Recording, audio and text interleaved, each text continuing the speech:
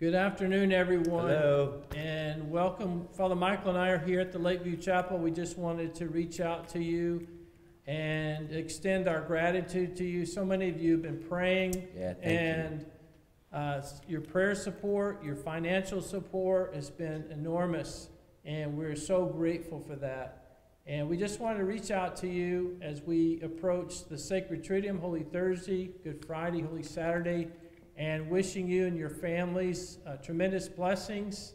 And know that we're all in this together. Uh, we're, we're going through this with Jesus as he goes through his passion in us now.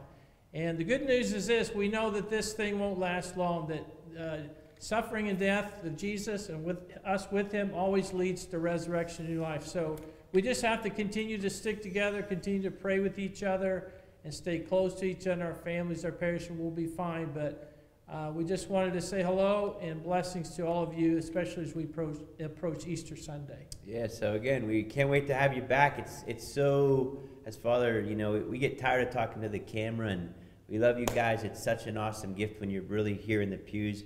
Um, so hopefully that will be soon. Um, have a great Holy Week and amazing Easter. We love you. God bless you guys.